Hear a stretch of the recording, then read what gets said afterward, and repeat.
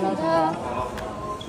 下飞机没有回酒店，第一站先去吃了米粉，然后今天吃带汤的，明天吃干拌的，后天吃螺蛳粉，就这么定了。想问一下，新一季的录制有没有什么想达成的目标吗？其实我特别希望我们请的嘉宾能多来一些老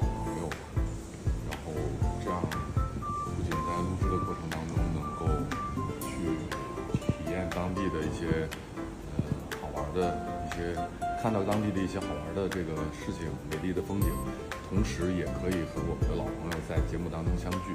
最想做一个可以说一下。稍微简单一点吧，导演。